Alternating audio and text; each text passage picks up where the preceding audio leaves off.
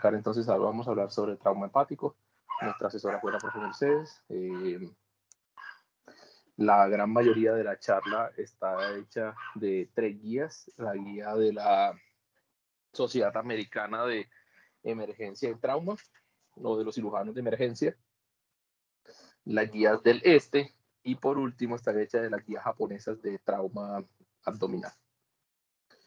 La, entonces, lo que cuando uno habla de trauma hepático, pues lo primero que hay que hacer es definirlo.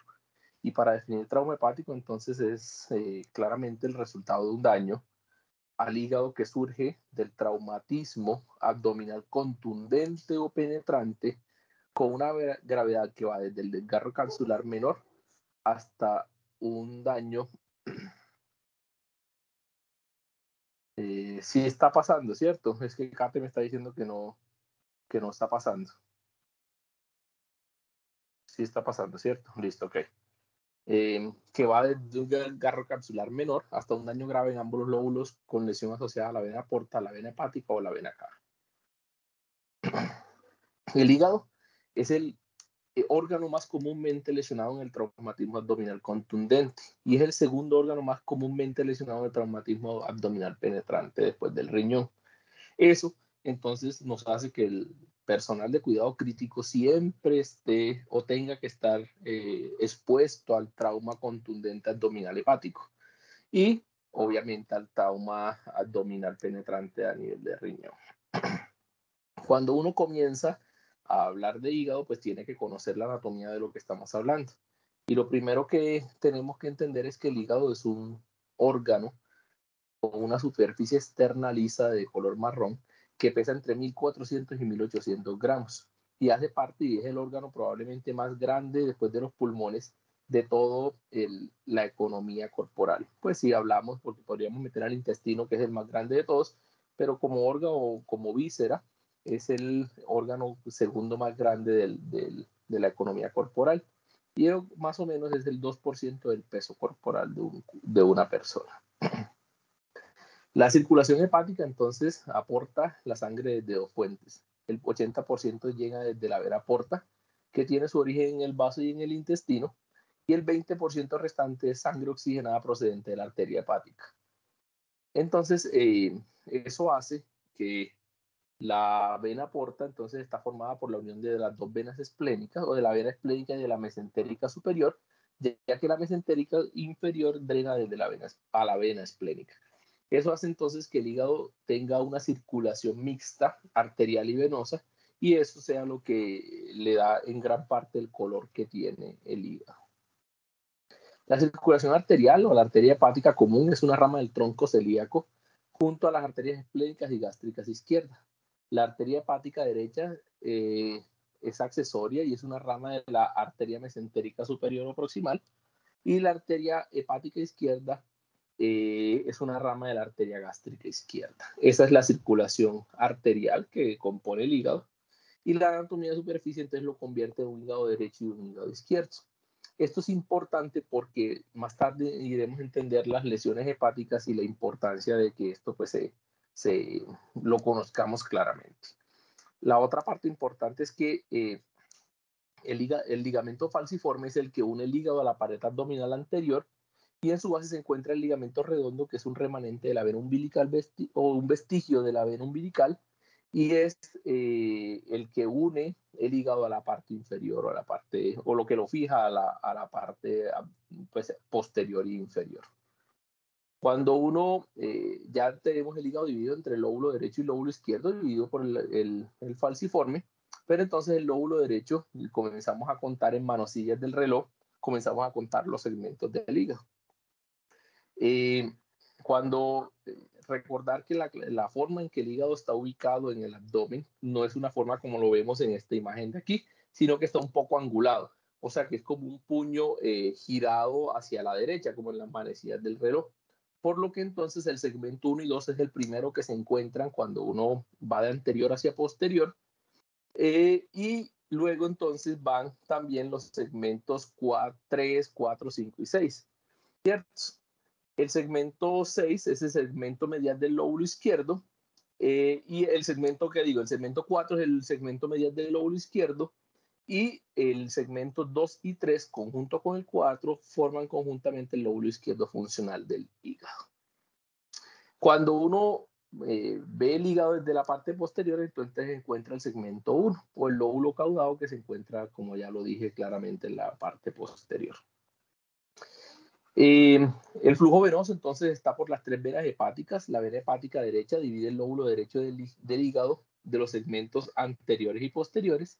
La vena hepática media divide el hígado en lóbulos derecho e izquierdo y recorre el mismo plano de la vena cava inferior y de la fosa vesicular. La vena hepática izquierda divide el hígado en izquierdo en los segmentos medial y lateral. Y la vena porta divide el hígado en los segmentos superior e inferior. Entonces la división hepática se da por el flujo venoso que éste recibe, como ya lo dijimos claramente. Y por último, el sistema ductal responsable de la formación y el transporte de la bilis desde el hígado hasta el duodeno generalmente va unido al sistema venoso portal. O sea, el, mismo flujo venoso portal, al lado de ese flujo venoso portal está el sistema ductal biliar, lo que entonces eh, nos lleva a que todo el flujo y toda la circulación está dada por el sistema porta conjunto con el sistema biliar. Cuando hablamos de lesión hepática, entonces estamos hablando de que es más común en hombres que en mujeres. El 64% de las 6.600 lesiones hepáticas que involucraron a hombres que estaban, datos del, del, Banco Nacional de Trauma, que estaban entre el 2000 y el 2004, se diagnosticaron o se detectaron 6.600 lesiones hepáticas. Ese 64% de esas lesiones se involucraron hombres en edad media de la vida. O sea que la probabilidad de que, de que nosotros, eh, las personas que estamos entre los 30 y los 40 años de edad, suframos una lesión hepática es muy alta y sobre todo está asociada pues a nuestro quehacer y vivir. Eh, montar en moto, a tener deportes extremos, o sea, todo lo que implique un riesgo de generar un trauma. Cuando lo dividimos entonces en el número de lesiones, nos damos cuenta que la lesión hepática, la gran mayoría de ocasiones, o el trauma hepático, la gran mayoría de ocasiones es categoría 1 o categoría 2. Ya hablaremos de qué es categoría 1 y qué es categoría 2 y que solo una pequeña porción de estas lesiones son categoría 5 o categoría 6. Esto entonces eh, nos da una tasa de incidencia de la lesión hepática por cada 100.000 personas. Esto nos los muestra el otro registro grande, como habíamos hablado desde el principio, que son los de los japoneses, en que más o menos entre los pacientes en que van entre los 15 y los 24 años, allá en Japón, este es el grupo de edad más afectado, tienen una probabilidad de tener un 25% de, de, de, no, 25.9 casos de lesión hepática por cada 100.000 habitantes. Y de este 25.9, 17.9 son hombres. Cuando hablamos de patogenia, entonces hablamos de que hay dos mecanismos de, de la lesión. La primera es la con lesión de golpe directo al abdomen, que resulta en un aplastamiento central y laceración principalmente de los segmentos 4, 5 y 8. La, la otra parte, eh, y pues obviamente como detrás de estos, eh, de estos segmentos que son los que, los que están más prominentes sobre el hígado, son los que detrás de estos están principalmente las venas hepáticas y las arterias hepáticas o los troncos de las venas hepáticas y las arterias hepáticas esas son las causas más frecuentes de lesiones 5 y 6 o de categoría 5 y 6.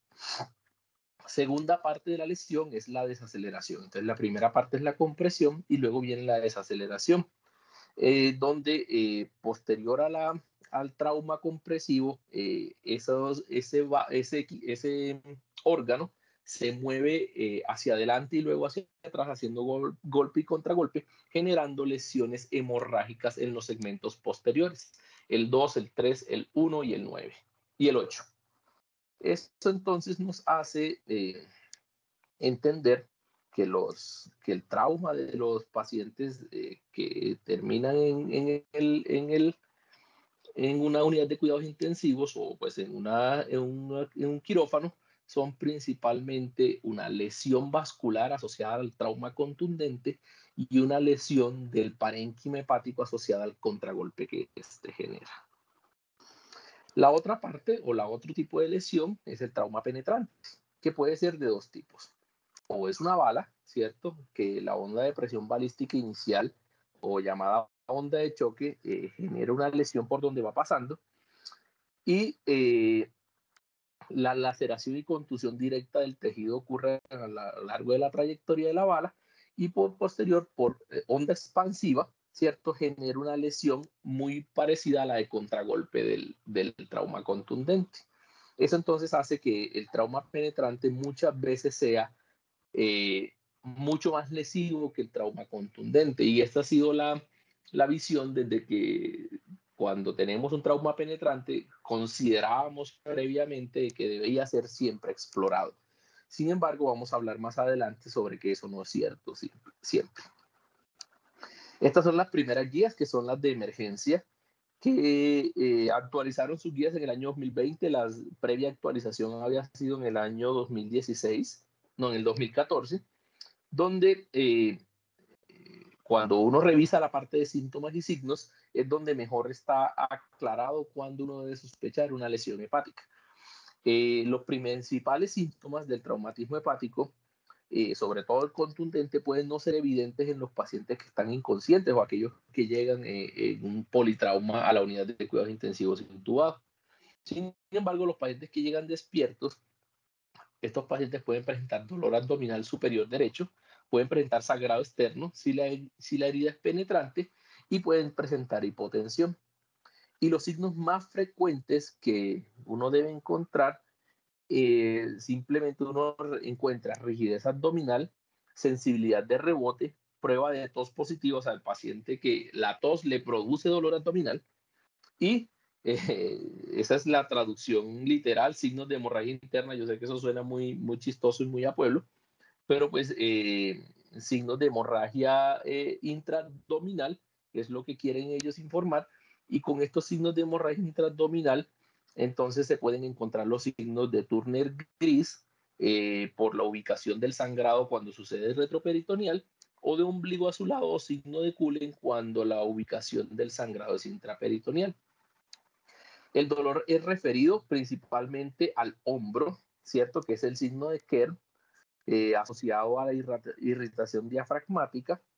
Y esto está asociado principalmente a sangrado intraperitoneal a dolor eh, escapular ipsilateral por traumatismo biliar. Y esto es muy importante porque siempre que los pacientes, o la gran mayoría de ocasiones donde el paciente presenta dolor escapular, eh, hay que pensar no que tiene una lesión traumática y si ya la descartamos, sino que lo que tiene es un traumatismo biliar por la irrigación del, de, nerviosa que tiene el, el árbol biliar.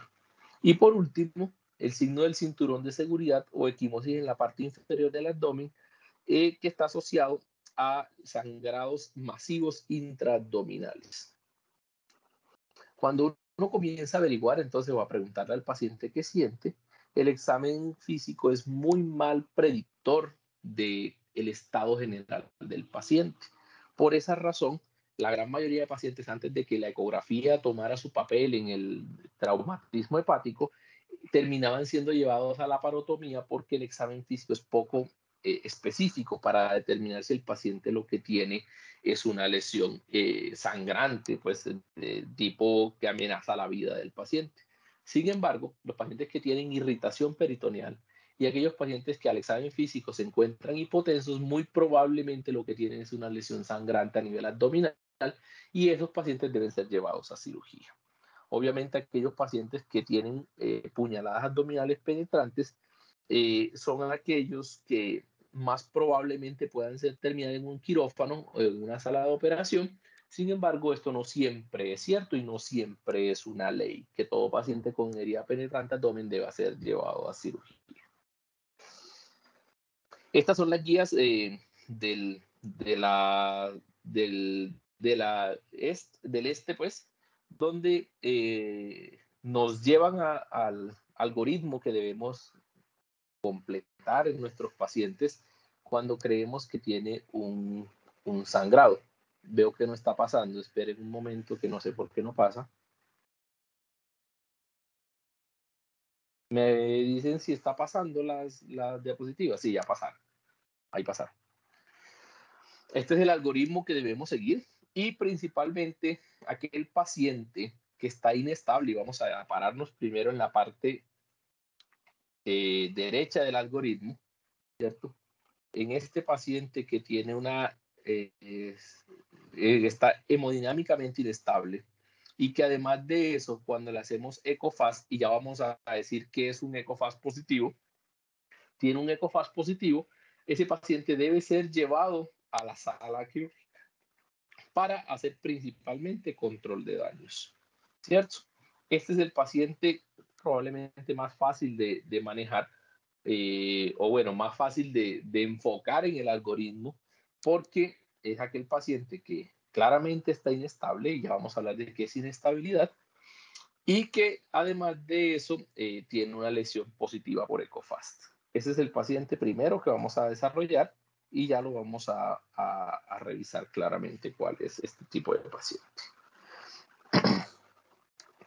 El diagnóstico presuntivo entonces se hace eh, con aquellos pacientes que tienen traumatismo abdominal, particularmente aquellos que tienen traumatismo abdominal en la parte superior derecha del abdomen y que tienen dolor abdominal superior derecho, sangrado extenso, si la herida es penetrante, si tienen hipotensión y tienen shock. Y el examen FAS es positivo en aquel paciente, y ya les voy a decir que es un FAS positivo, es aquel donde cuando le hacemos la ecografía encontramos un borde hipoecoico en o de líquido subcapsular, o sea, un borde oscuro a nivel subcapsular del hígado. Encontramos líquido intraperitoneal alrededor del hígado y líquido en la bolsa de Morrison o el espacio hepatorrenal. Estos son los pacientes que deben ser llevados a sala de cirugías inmediatamente. Estoy esperando que pase y yo siento que está como lento el, el, el las diapositivas no pasan a la misma velocidad de, de, de mi paso acá. Pasan como más lento.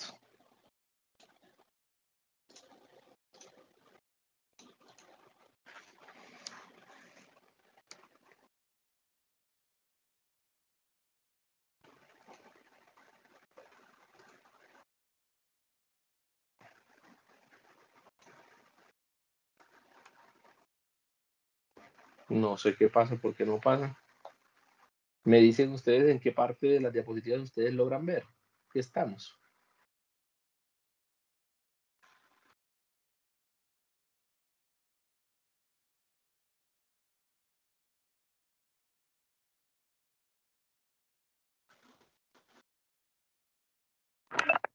Toño, la diapositiva que se ve es diagnóstico presuntivo. Eh, muy raro. Acá yo lo tengo en fase. Bueno, listo. Ya voy a ver qué, qué está pasando. Deja de compartir y comparte de nuevo, por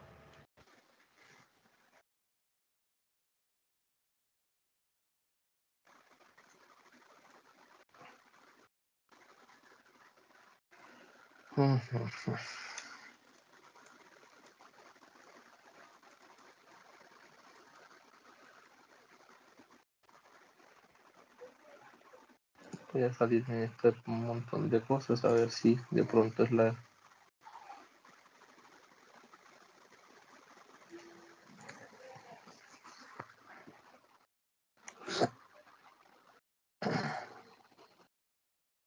¿Ya se ve?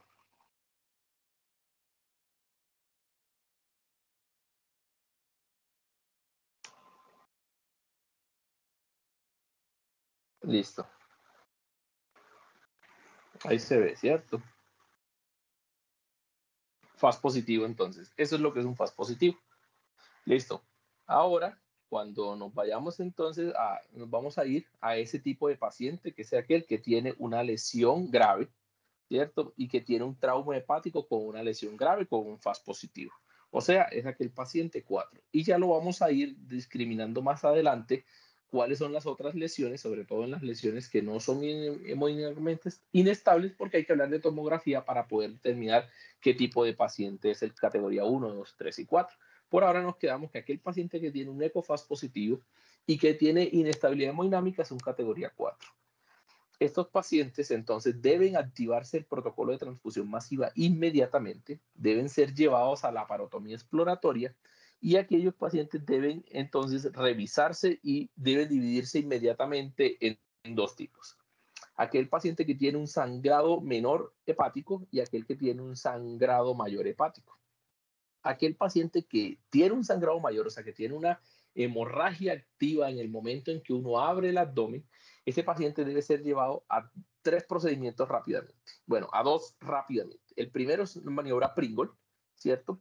Que la maniobra Pringle es ocluir el flujo de arterias y porta para evitar que siga sangrando, ¿cierto? Y lo segundo que se debe hacer es buscar el sitio de sangrado y hacer compresión. Eso eh, es lo que se considera eh, maniobra o, cirugía de control de daños en este tipo de pacientes. En el momento en que este paciente tiene un sangrado controlado o que ese paciente eh, ya se hizo control del sangrado, este paciente debe ser llevado de esta manera a una angiografía posoperatoria o intraoperatoria, como se pudiera, para buscar el sitio de sangrado y embolizar. Aquellos pacientes que tienen lesiones a nivel de pena porta, de arteria hepática o que tienen eh, lesiones intraparenquimatosas son aquellos que se salen de este protocolo de solo empaquetamiento y se llevan a reparación o a ligadura selectiva, depende de lo que se encuentre claramente. Yo no sé si la profe Mercedes quiere intervenir en este punto, eh, diciéndonos cómo, cómo lo ve ella desde la parte del, de, cirugía, o sigo avanzando y, hace los aportes al final.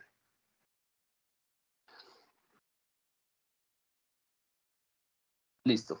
Eh, ahora que la profe pues, siempre ya tiene problemitas de conexión en algunas avanzo. Listo, ok, ahí ya. La siguiente cosa es entonces aquel paciente que eh, tiene sangrado eh, no controlado. Y entonces en ese paciente que a pesar de haber hecho la maniobra Pringle y haber hecho la compresión sigue sangrando, ese paciente tiene que pensarse en dos cosas importantes. En la primera es que tengo una anomalía vascular y esa anomalía vascular pues no la puedo, no la puedo eh, controlar porque no sé cómo es la anomalía, entonces ese paciente debe ser llevado a angiografía buscando la anomalía.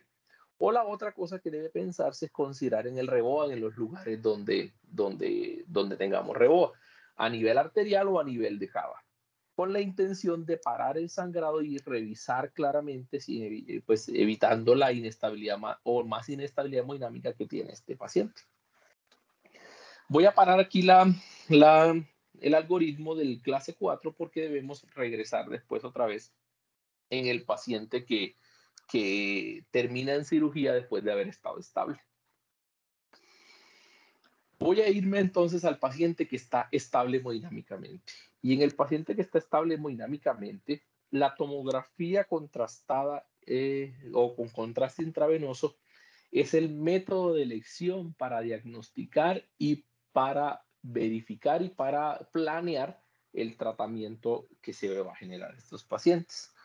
Principalmente por tres cosas importantes. Porque determina la fuente de sangrado, porque es el método diagnóstico de elección, porque evalúa la extensión de la lesión hepática y porque además de eso determina el grado de la lesión hepática. La tomografía es quien caracteriza la lesión hepática en categorías o en grado 1, 2, 3 y 4, 5 como lo, y 6, como lo vamos a ver más adelante.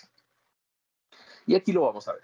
El primero es el grado 1 y es aquel paciente que tiene un hematoma subcapsular del menos del 10% de la superficie, con laceración parenquimatosa de menos de un centímetro de profundidad. Esta es la tomografía clásica de un categoría 1 o de un grado 1. El grado 2, entonces se clasifican en tres. El primero del grado 2 es aquel con un hematoma subcapsular del 10 al 50% de la área de superficie. Y en esta tomografía se... Antonio, otra vez se pegó la presentación. Ah, qué pereza, mar.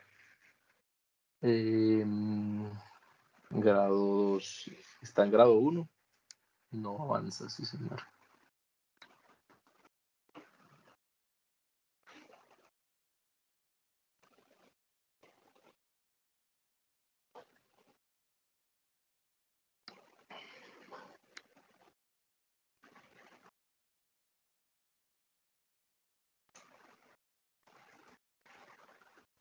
Voy a volverme a salir.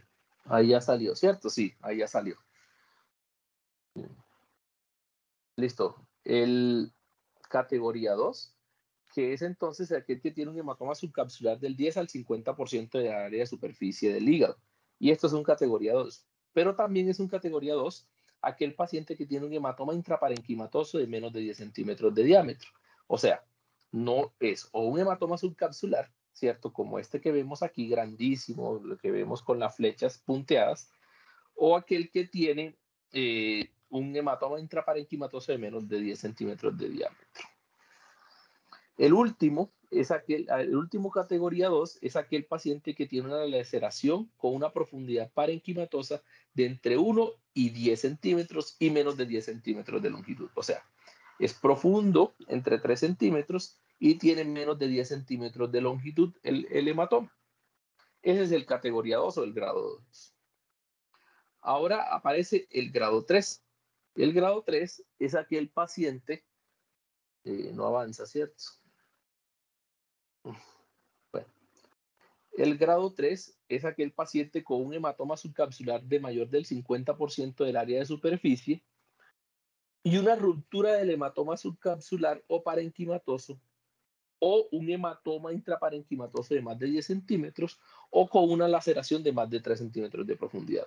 O sea, es la misma categoría 2, pero con el crecimiento de más del 50, de más de un hematoma de más de 10 centímetros o una laceración de más de 3 centímetros de profundidad. Ese es el categoría 3. Y aquí se está complicando la cosa ya porque aquí ya tenemos un hígado que está comprometido en un 50%. También se considera un categoría 3 o un grado 3 aquella lesión o cualquier lesión que tenga una lesión vascular hepática o un sangrado activo contenido dentro del parénquima hepático. O sea, si la tomografía contrastada nos dice que tiene un sangrado hepático eh, o una extravasación de sangre, pero que esa extravasación de sangre está contenida dentro del parénquima hepático, ese paciente ya de por sí es un categoría 3 o un grado 3. Cuando esta lesión sangrante disrumpe o, rompe el parénquima hepático, o que esta lesión sangrante, además de eso, tiene un compromiso del 75% del hígado del o de uno de los lóbulos hepáticos, este paciente está en un grado 4. Y este es el punto importante de inflexión porque el grado 4 es aquel paciente que debe irse pensando en alta probabilidad de ser llevado a cirugía. Y es aquel paciente que debe irse pensando de que de pronto necesita una cirugía de control de daños para evitar pues su, su deterioro hemodinámico. Y ya vamos a ver cómo los categoría 4, los categoría 5 y los categoría 6 tienden a complicarse o tienden a terminar en cirugía, sobre todo en categoría 5 y en categoría 6. Por eso en categoría 4 todavía se deja como a decisión del cirujano y se le dice, eh, piense que este paciente puede, ser, puede necesitar cirugía, pero todavía si usted ve que el paciente está estable, lo puede vigilar. Qué cosita.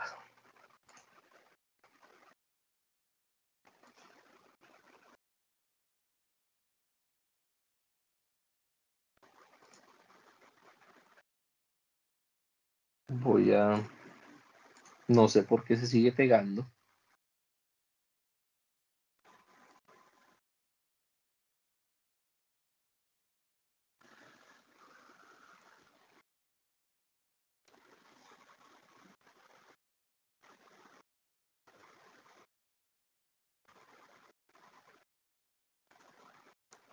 Listo.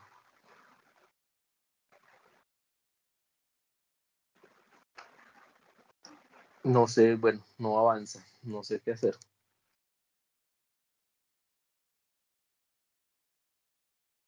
La siguiente, entonces, eh, clasificación del paciente categoría 4 es aquel que tiene una lesión venosa yuxtahepática que incluye la vena cava retrohepática y las venas hepáticas mayores centrales.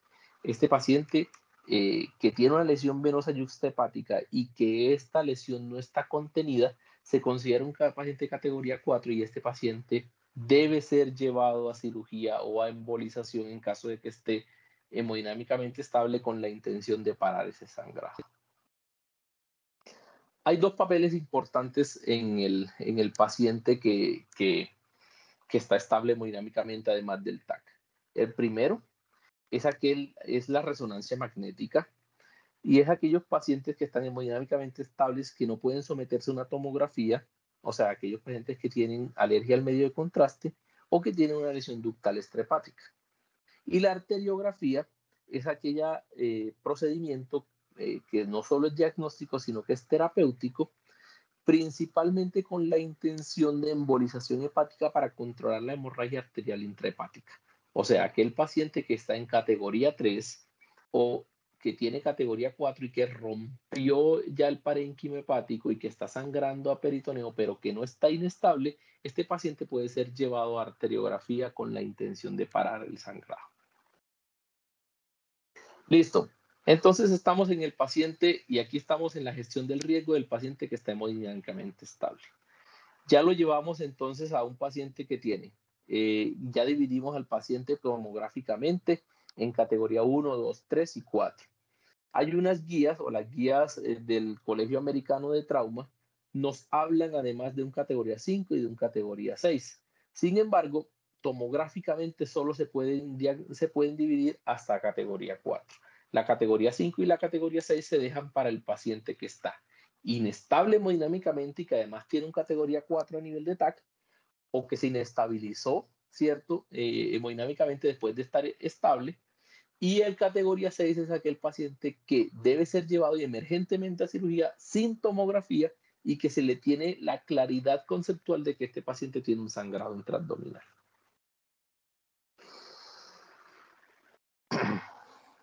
La primer mensaje que quiero, o el primer mensaje que nos dejan todas las guías, tanto las de la, América, de la Sociedad Americana de Cirujanos de Trauma, las de la Sociedad Americana de Cirujanos de Emergencia y la de las guías japonesas nos dicen que el trauma hepático por definición es un, no es quirúrgico. O sea, el trauma hepático por definición es no quirúrgico hasta que usted se llene de motivos para llevarlo. ¿Y por qué razón? porque cuando anteriormente, antes del año 2016, que es cuando salen las guías japonesas, los pacientes eran llevados eh, de rutina en algunos de los, de, los, de los centros de trauma a cirugía hepática, ese paciente tenía una probabilidad de morirse mucho mayor que los pacientes que, que se llevaban con, de manera conservadora.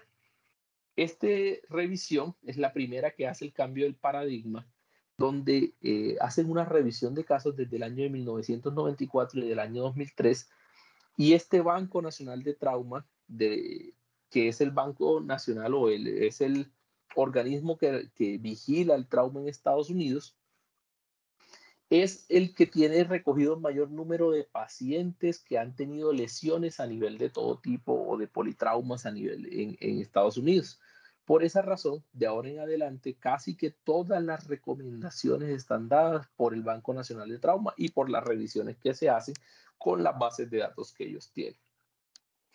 Es muy difícil hacer estudios retrospectivos y aunque sí hay eh, prospectivos, te digo, y aunque sí hay unos pocos que ya los voy a ir mostrando, depende de cómo vayamos avanzando, la gran mayoría de decisiones de cómo se debe manejar el trauma se hacen principalmente con esta base de datos y segundo desde una descripción del comportamiento de estos pacientes. Este primer estudio entonces es una revisión de casos que, de 35.510 pacientes con lesiones hepáticas que mostró que los pacientes que eran llevados a cirugía se morían más.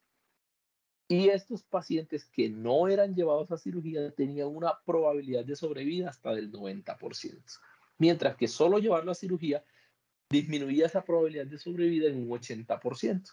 O sea, que los pacientes, después de esta revisión que se presentó en el año 2005, creo que fue, si no lo anoté aquí, pero es del año 2005, cambió el paradigma de que el trauma hepático, muy probablemente hasta ese punto, y era la primera revisión que salía, debía ser un eh, procedimiento de observación y que los pacientes había que llenarse de motivos para no dejarlo, o sea, para no, para llevarlo a la sala de quirófanos o a la sala de operaciones. Aquellos pacientes que deben ser llevados sí o sí a sala de operaciones son estos. Los que tienen inestabilidad hemodinámica después de la reanimación inicial. Inestabilidad hemodinámica se dice después de la tercera transfusión de glóbulos rojos, aunque las guías japonesas hablan de cuatro unidades de glóbulos rojos, eh, las guías americanas hablan de tres. Después de tres unidades de glóbulos rojos que usted haya transfundido en este paciente y este paciente sigue inestable hemodinámicamente, debe ser llevado a manejo quirúrgico. Aquel paciente que tiene una indicación además de cirugía abdominal, o sea, aquel paciente que tiene peritonitis, por ejemplo, o sea, rompió el intestino o tuvo una, una catástrofe abdominal asociada a ese trauma, ese paciente debe ser llevado a cirugía. Aquellos pacientes que tienen lesión por disparos, y miren esto importante, y es si se sospecha una lesión extrahepática intraabdominal. O sea, no solo es que la lesión le haya dado al hígado, sino que esa lesión esté además comprometiendo otros órganos intraabdominales. Y esta es la indicación única, para, esta es la única indicación donde si hay herida por arma de fuego, si usted por, por arma de fuego, y usted cree que hay una lesión estrepática, esta es la única indicación para llevar a cirugía sin tomografía. Y la otra es la ausencia de un entorno clínico apropiado para proporcionar el monitoreo, o sea, que no haya una unidad de cuidados intensivos, que no haya embolización hepática selectiva o que eh, en caso de que se necesite una exploración eh, abdominal urgente no haya cirujano. O sea, no sé, en algún lugar donde haya cirujano apenas hasta las 5 de la tarde. Entonces, como no va a haber cirujano ese paciente, o hay que trasladarlo o hay que operarlo por esa razón. Vamos al escenario donde el paciente está estable hemodinámicamente, pero creemos que está sangrando. O sea, el paciente está estable, pero sin embargo la hemoglobina sigue bajando y el control de hemoglobina debe hacerse más o menos cada 4 a 6 horas, dicen las guías. Las guías americanas hablan de control de hemoglobina en el momento inicial cada 2 horas sin embargo, las guías japonesas, eh, muy probable, no sé por qué razón eh, la, la, variación del tiempo, pero las guías japonesas sí dicen que cada seis horas debe hacerse un control de hemoglobina en el paciente que está estable durante las primeras 48 horas. Este paciente entonces debe ser, está estable, creemos que está sangrando, le hacemos un TAC contrastado, en ese TAC contrastado muestran extravasación, pero entonces este paciente no necesariamente tiene que ser llevado a la sala de cirugía. Y ya sabemos que, aunque tiene una alta probabilidad de terminar en quirófano, este paciente puede dársele eh, la oportunidad con una arteriografía y una embolización hepática con la intención de parar la, eh, el sangrado, si se puede embolizar. Y posteriormente continuar con hemoglobinas constante o seguimiento con hemoglobinas con la intención de ver para dónde va este paciente. Esta revisión de casos del año 2007 al 2014, otra vez de los pacientes que del Banco Nacional de Trauma, pero en este caso eran 4.031 lesiones hepáticas por heridas por arma de fuego, nos mostró que los pacientes con heridas por arma de fuego solo, eh, que solo tuvo compromiso del hígado y que tuvieron lesiones grado 1 o grado 2, la mayoría de pacientes no requirió manejo eh, quirúrgico. Y eh, solo el 45%, bueno, el 45% de estos pacientes requirió, salió sin manejo quirúrgico. Mientras que la lesión se fue empeorando, o sea, el, categoría, el grado 3, el 40% no requirió, en el grado 4 el 27% y en el grado 5, que obviamente es el paciente que, que ya está inestable hemodinámicamente o que se está inestabilizando, no requirió manejo quirúrgico el 16% porque lo lograron embolizar. Y miren que este paciente estaba en la categoría de paciente estable que se inestabilizó. O sea, este paciente estaba estable inicialmente, se inestabilizó, lo llevaron a embolización y ese paciente, el 16% de esos pacientes no requirió ninguna intervención adicional. ¿Por qué razón entonces hemos cambiado hacia el manejo no eh, quirúrgico? porque el manejo quirúrgico aumenta las complicaciones y aumenta la, mortalidad. Y miren, en el paciente que tiene categoría 3 o grado 3 de lesión hepática, el paciente que no es llevado a manejo quirúrgico tiene una probabilidad de sobrevivir mucho mayor. O sea, tiene una probabilidad de no necesitar esa cirugía en 1.75 veces. Eso significa que los pacientes, eh, a pesar de estar muy enfermos y de tener una lesión muy grave, no requieren manejo quirúrgico en el en el, las dos terceras cuarta parte, las dos terceras partes de, la, de las ocasiones. ¿Cuándo se define dar alta a estos pacientes? Y esto lo mostró este mismo artículo eh, con el análisis de todos los casos de los 45 mil casos que, surgieron entre el 92 y el 2003, mostró que a las 24 horas, independiente del grado de lesión, si un paciente tiene un examen abdominal normal y una hemoglobina estable, ese paciente probablemente se le pueda dar de alta al menos de la unidad de cuidados intensivos. Sin embargo, ellos son enfáticos en decir que la duración de la observación se basa principalmente y únicamente en decisión del clínico y que no hay ningún examen que me haga pensar o me haga predecir la, la, pues el éxito de este alta y que solo debe ser yo como clínico acuciosamente, después de haber revisado muy bien a mi paciente, decidir que después de 24 horas este paciente puede irse para la casa o puede irse para una hospitalización.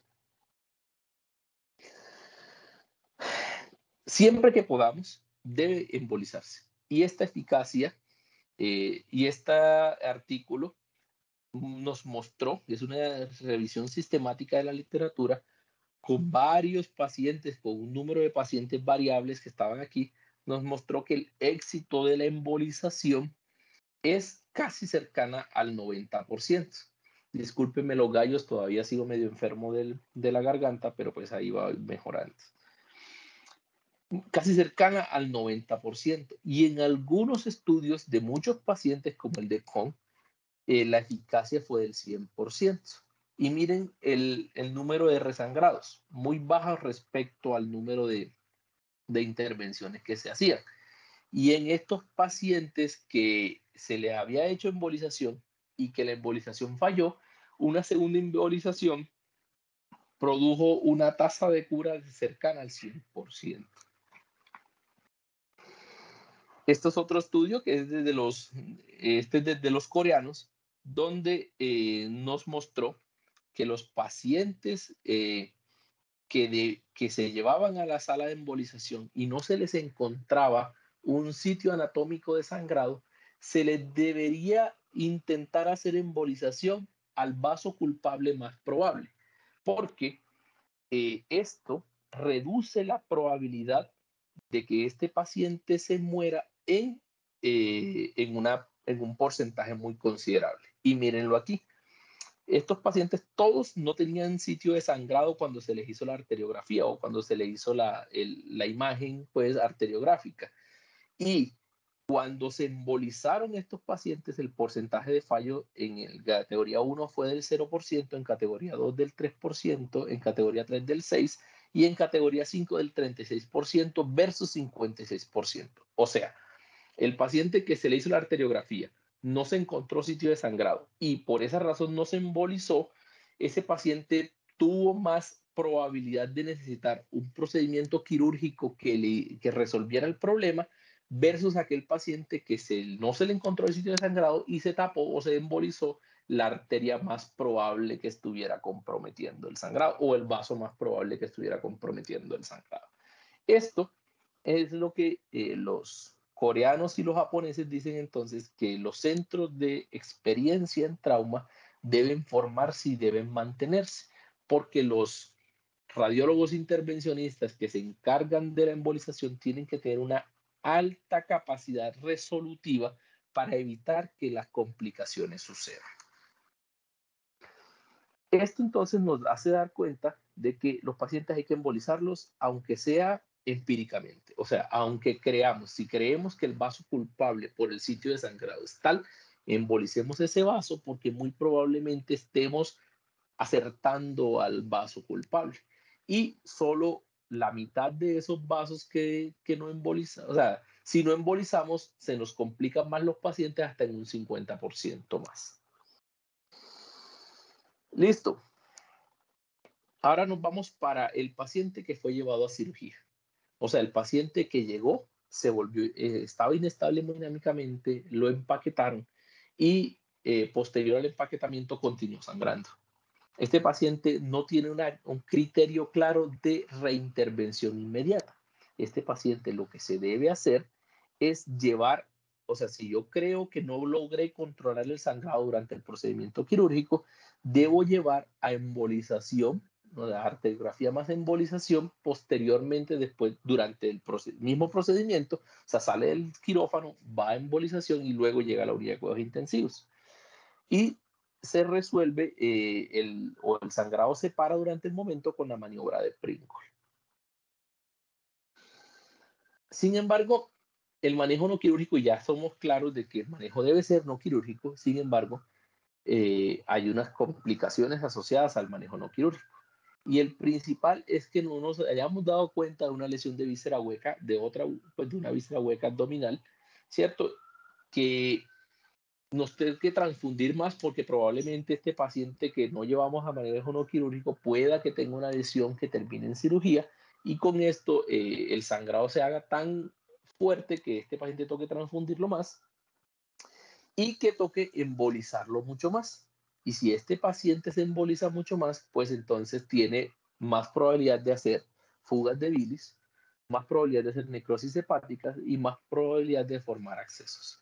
Sin embargo, riesgo-beneficio, viendo la probabilidad de morirse en una cirugía emergente por un sangrado hepático o por una lesión hepática, definitivamente el manejo no quirúrgico sigue siendo la elección.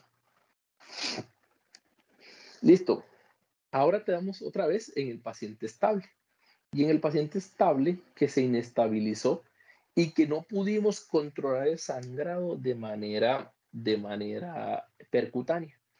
Este paciente entonces, que no pudimos controlar el sangrado de manera percutánea, se siguió transfundiendo, se transfundieron tres unidades de glóbulos rojos y este paciente sigue sin estabilizarse, este paciente debe ser llevado a cirugía. Aquellos pacientes que tienen lesiones grado 4, o sea, aquel paciente que está estable y que tiene una lesión sangrante a cavidad abdominal, o aquel paciente que está inestable, como es el grado 5, y que tiene una lesión sangrante a nivel abdominal, tienen altísima probabilidad de fallar al tratamiento no quirúrgico. Por esa razón, debe considerarse que una posibilidad es que sea llevado a cirugía. La segunda eh, eh, indicación es aquel que ya se transfundió, que ya les dije, más de tres unidades. Y eh, los protocolos nos dicen, o los protocolos, sobre todo los de los japoneses, nos dicen que observe los pacientes hasta cuatro unidades de transfusión. Si a la cuarta unidad de transfusión de sangre este paciente no se ha estabilizado, muy probablemente deba ser llevado a cirugía. ¿Qué cosas debemos hacer en cirugía o qué cosas debe hacer el cirujano en cirugía? Principalmente debe hacer dos cosas importantes. La primera es un desbridamiento reseccional, o sea, se refiere a la eliminación de porciones desvitalizadas del hígado a lo largo de planos no anatómicos, recordar ya la anatomía de los lóbulos hepáticos y de todo eso, entonces tiene que cortar todo lo que no encuentre, lo que no encuentre eh, vital. Eso sin importar los lóbulos hepáticos que estén comprometidos. O una resección anatómica con una extirpación de un segmento del lóbulo hepático en el plano anatómico más ligadura de vena, arteria y porta. Esas son las dos cosas que puede hacer un cirujano. ¿Cuándo las ¿Cómo las debe hacer? Depende de lo que lo observe allá. Ahora nos vamos a ir un poco a las complicaciones para finalizar un poco la, charla. Eh, nos quedan en estos momentos, ya les voy a decir cuántas diapositivas nos quedan. Nos quedan 10 diapositivas para hablar. Entonces, eh, las complicaciones. Las complicaciones son comunes después del manejo de las lesiones hepáticas. Y las lesiones hepáticas, las complicaciones suceden o la morbilidad asociada sucede en el 5% de los grado 3 en el 22% de los grados 4 y en el 52% de los grados 5. O sea, no nos parezca extraño que un paciente que es llevado a cirugía se complique. Es lo más probable, aún es una moneda al aire. Y si uno lo ve por porcentaje, muy probablemente tenga más probabilidad de complicarse que no. ¿Cuáles son las dos cosas que más suceden? La primera es una alteración en el árbol biliar con la formación de biliomas o fuga de bilis persistente y la segunda cosa que más sucede es una peritonitis asociada, o sea, un bilioperitoneo asociado a la bilis que, que se elimina a nivel del hígado. El resangrado ya lo hemos hablado anteriormente, entonces esa complicación es frecuente, probable y, se resuelve fácilmente. Sin embargo, la fuga biliar, el bilio peritoneo, los accesos perihepáticos y la necrosis hepática, no hemos hablado de ella y es lo que nos vamos a dedicar en estas últimas diapositivas.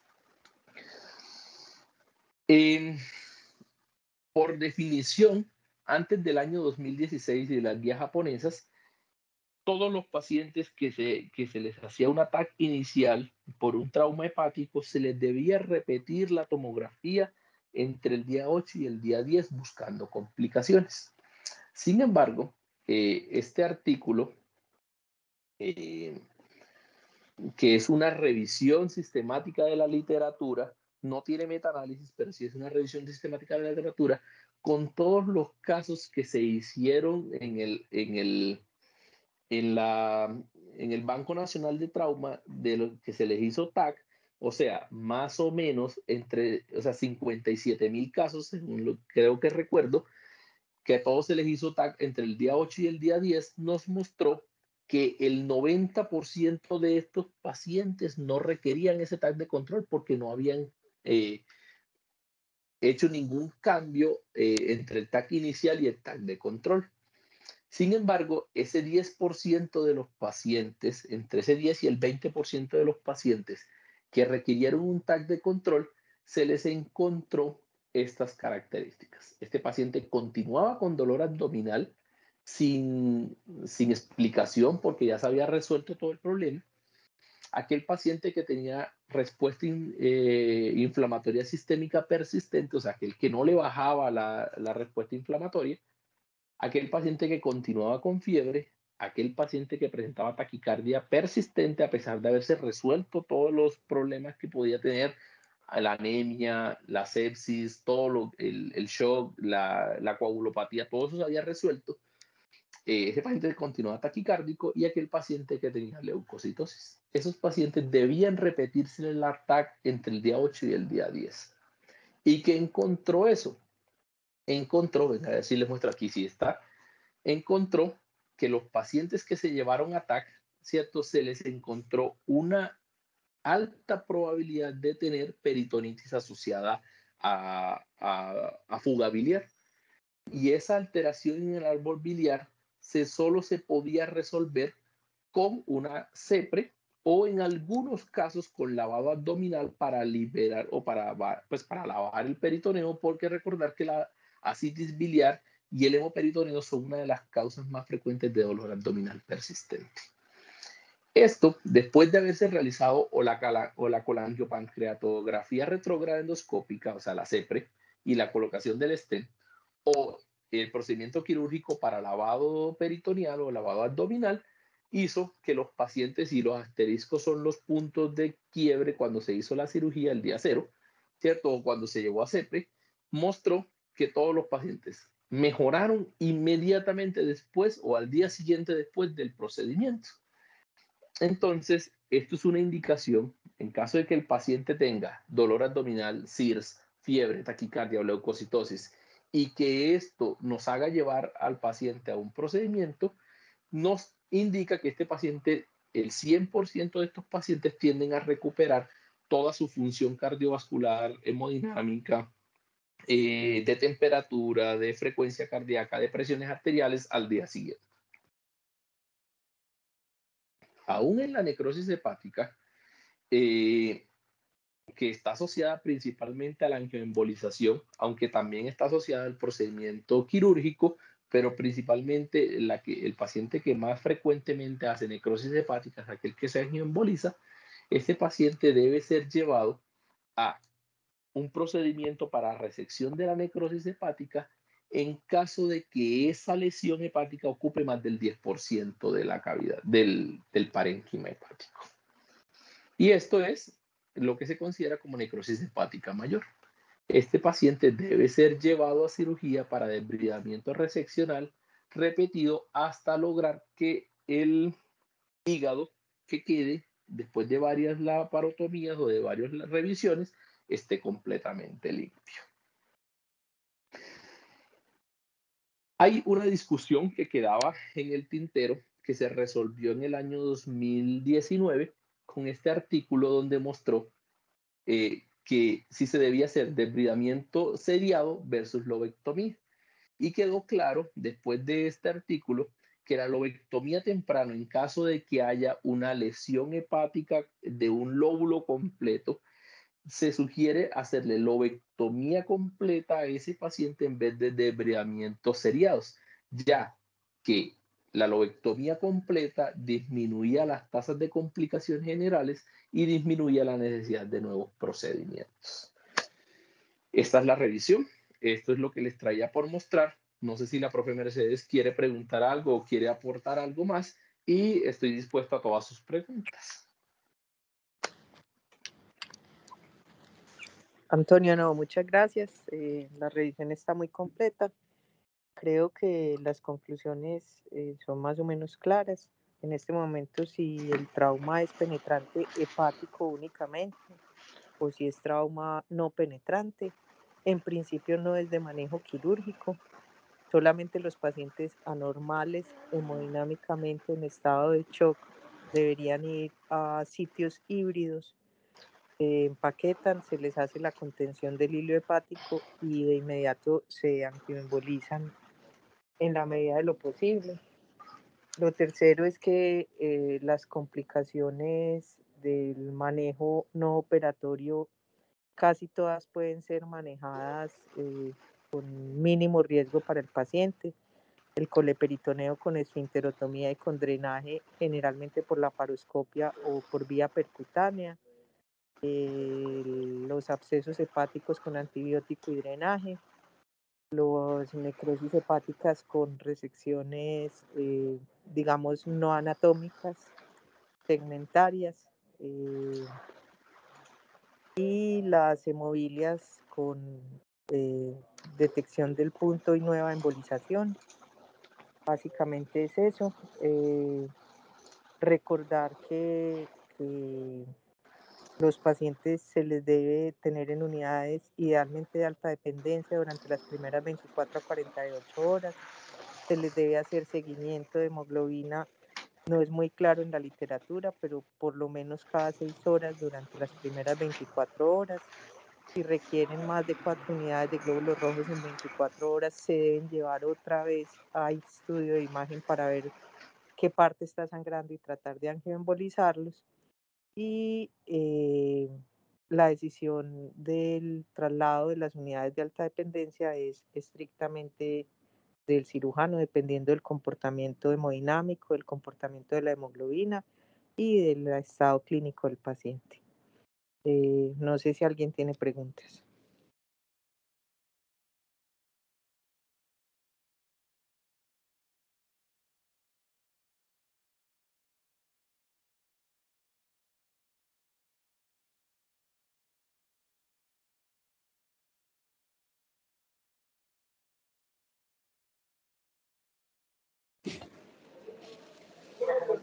Si nadie tiene preguntas, yo creo que podemos dar por terminada la reunión.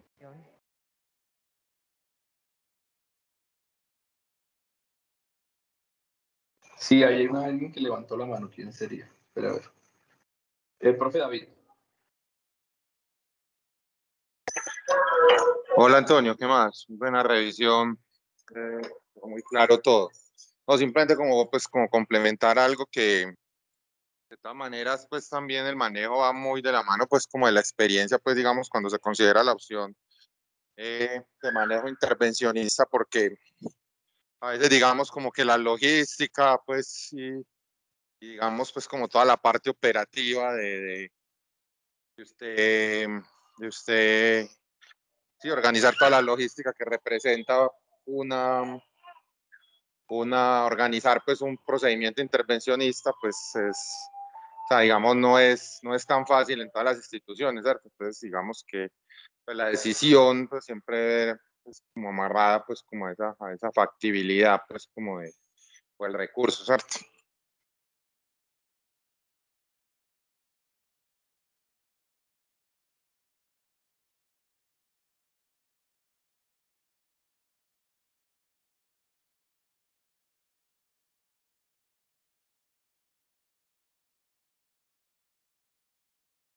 Muchas gracias, profe David. De acuerdo con usted, aunque sí es complejo la parte de cuándo decidir operar en vez de embolizar.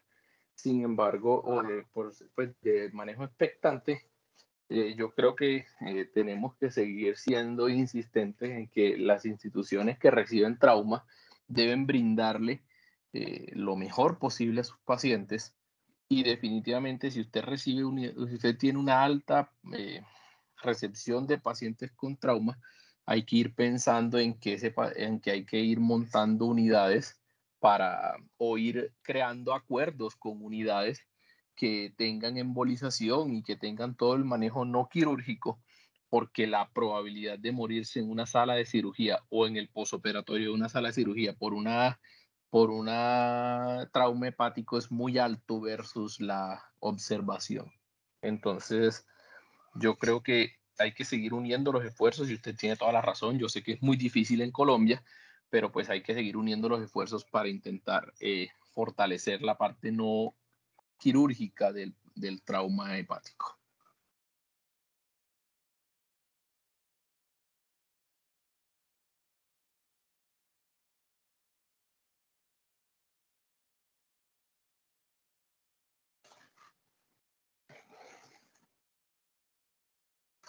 El profe Camacho que está por ahí, que nos ayude, que opine, eh, que él también, pues que él es cirujano, que nos puede dar la orientación desde lo que él vivió también desde su formación como, como cirujano de trauma en, en Cali y, y, obviamente nos puede dar mucha información de lo que él vivió por allá.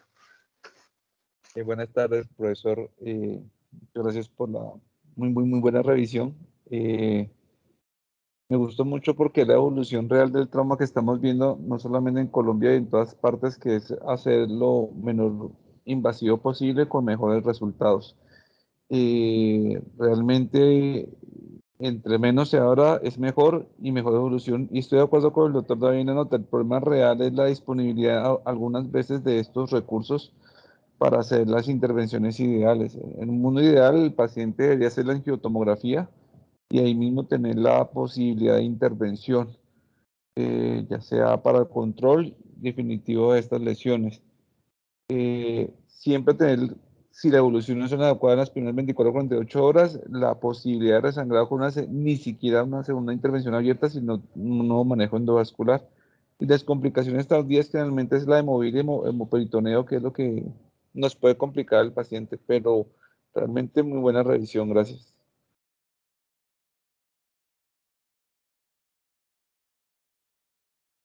Sí, yo ahí, pena, me meto ahí, pues complementando pues lo que dice el, profesor Camacho, es, es, eso, ¿cierto? Pues que digamos las guías le plantean a uno, digamos, pues un panorama pues muy idealista, pero, pero realmente, pues digamos, lo que uno, digamos, en la práctica no es así. Entonces usted, digamos, conseguís un radiólogo intervencionista a medianoche, eh, no es fácil, ¿cierto? Eh, pues obviamente en hospitales de cuarto nivel, como pues el la IPS universitaria, pues o ya Hospital Alma Mater o en el Pablo Tobón o en las Américas o el mismo San Vicente, que son los hospitales, digamos, de cuarto nivel y, que están acostumbrados, digamos, a manejar, a manejar trauma, pues no hay, es muy poco probable que el radiólogo intervencionista esté, pues, digamos, en un corto plazo, digamos, disponible para, para un procedimiento, pues, que, que digamos, es emergente, ¿cierto? Entonces, es ahí donde uno, pues, como está como esa,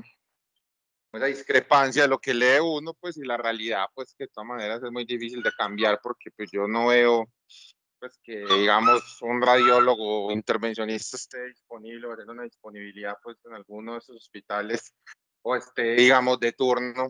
Entonces, entonces es eso, o sea, digamos, uno también tiene que tener en cuenta las variables que no se las, no se las ponen a uno, digamos, o no las escriben en las guías, ¿cierto? Pues que obviamente pues son hechas por países del primer mundo, pero pues obviamente uno tiene también que ser práctico y adaptarse pues, digamos, como a las circunstancias de, de nuestro entorno en ese sentido.